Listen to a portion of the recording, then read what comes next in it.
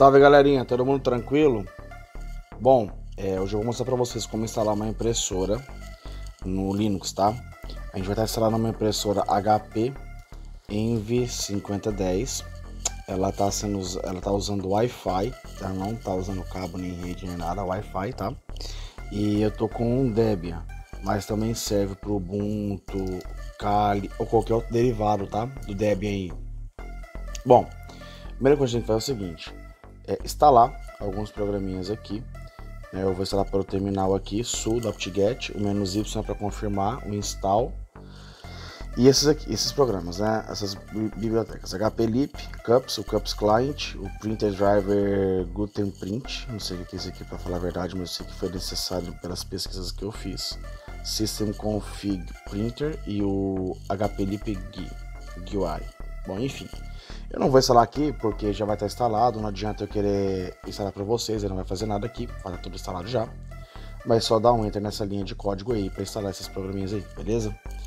Feito isso, o que a gente vai fazer? É, vou vir aqui no, no menuzinho, vou digitar impressora e ele vai me dar isso aqui, ó, configuração de impressora, certo? Ah, inclusive a minha já está aqui, eu já tenho uma impressora aqui, né? Mas bom, vamos lá, vamos adicionar uma impressora nova é, impressora pela rede, tá? O negócio é o seguinte, é, ele pede para localizar. Nesse momento aqui eu poderia tentar pegar um scanner de rede ou abrir o meu roteador para ver qual é o IP dela, mas o IP já está aqui. Eu poderia vir aqui simplesmente pôr o IP e mandar procurar, tá? Mas se vocês viram que foi automático, tá? Isso aqui é uma máquina real, máquina de verdade mesmo, tá? Inclusive por isso que já está instalado aqui, mas é uma máquina de verdade. Vou clicar aqui nessa impressora então e vamos embora. É, uma coisa que eu fiz testes aqui e, e percebi é o seguinte. É, deixa, deixa eu confirmar aqui. Bom, por aqui mesmo. Impressora de rede IPP via DNS, tá? Vou dar um forward aqui. Ele vai pesquisar pelos drivers. Uh, de antemão, vou falar para vocês, claro que aparecer ele vou, vou, vai confirmar e mostrar. Não existe, é, não existe drivers na lista aqui, pelo menos no presente momento da, da, da série 50, tá? Eu vou vir aqui HP recomendado, Ford novamente. Então o que acontece? Pode ver, 45, 24, 45, 45, 45, né? E passa por 55, 30 já. Não tem a 50, a, a série 5000. Que a minha é uma Envy uh, 5010 All in One, tá? Não tem. Mas, bom, eu fiz, eh, deixei esse recomendado que ele deixou aqui, tá? Funcionou, funcionou pelo menos para impressão funcionou, ainda não escaneei nada, ainda não pedi para é, imprimir dupla cara, né, dupla frente e verso. É, vou dar um Ford aqui. Eu mandei sei lá, o duplex, uh, mandei sei lá, o duplex, tudo mais. Aqui vocês podem colocar o nome que vocês quiserem aqui, tá? Lembrando que aqui em cima sem espaços, aqui embaixo, o jeito vocês bem entenderem. E pode dar um apply aí. Eu não vou pôr porque eu já tenho. Feito isso, existe, é, eu tive um probleminha aqui, eu vou mostrar para vocês. Ah, caso você tenha o mesmo problema, você saber mais ou menos onde está o problema aqui. É, aqui, ah, mais uma vez, deixa eu voltar para vocês verem aqui em propriedades da impressora, clique com o botão direito, tá? Eu tenho aqui políticas, tá? Eu não quero compartilhar, deixa eu aplicar inclusive isso aqui, não sei o que estava compartilhado, acho que eu estava fazendo algum teste pro canal. Bom, ela normalmente vem aqui, não, não vem habilitada, tá? Então você tem que vir aqui e clicar em habilitar. É, Bom, aqui tem algumas configurações, eu não acho que é, nada que vale a pena mudar do que já vai estar mesmo, tá? É, enfim, uh, isso aqui nunca tinha aparecido antes, é a primeira vez que apareceu, que funcionou, vamos dizer assim, que, realmente funcionou. Inclusive está mostrando só a preta, não está mostrando a, a, as coloridas, mas enfim, já é um progresso, nunca tinha funcionado antes, tá? E aqui, se vocês quiserem, é, por acaso, aconteceu comigo, é, de eu estar usando antes o não o DNS, mas o IP, o IP da impressora mudou. Então é por isso que eu abri aqui para mostrar para vocês. Primeira questão aqui de política para habilitar. É, e segundo, para alterar aqui. Então, se vocês precisassem alterar o IP da impressora, é, poderia, fazê-lo aqui. Né? Então vem aqui alterar e coloca o IP e tal e tal. Para vai vir aqui em alterar, ele vai pesquisar, você vai pesquisar e vai mostrar qual é a impressora, né? Novamente. É, Aqui o fabricante, isso aqui eu não sei para que serve, mas eu não quis mexer, pessoal. Eu aconselho vocês fazerem o mesmo, tá? Mas eu acho que isso aqui não vai ter. Isso aqui são os drivers que estão sendo usados e tal. quase certeza. É, enfim, é isso mesmo. Deixa eu voltar. Isso. Só que como eu selecionei agora DNS, é porque a primeira vez que eu instalei não tinha me dado essa opção de DNS. Eu achei estranho, mas bom, vamos para o IP.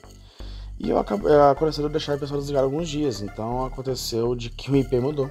Deu release no IP, mudou.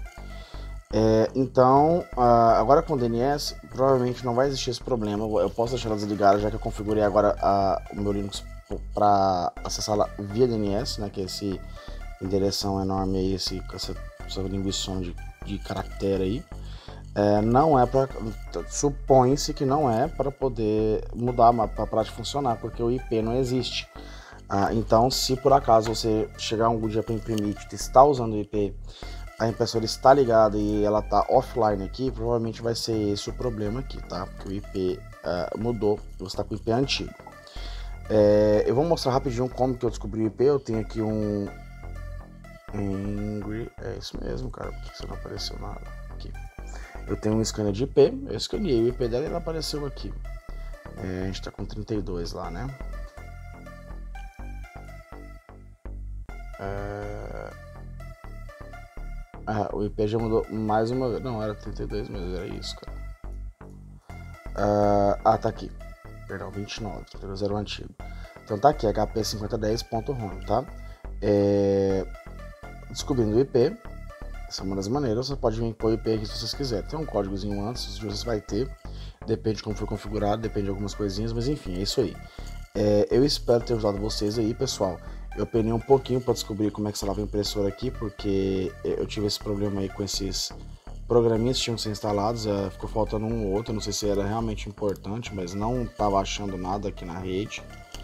E por isso eu demorei um pouco para conseguir instalar. Mas está instalado, está funcionando, já fiz teste, já imprimi algumas coisas na impressora através daqui. Como eu disse, eu não testei o scanner ainda, eu tenho que fazer uns trabalhos com o scanner e eu vou testar. Caso não funcione, porque é, se você vier aqui, é, onde que era, cara? Tinha um lugar para escanear aqui. Aplicar, esqueci onde que é.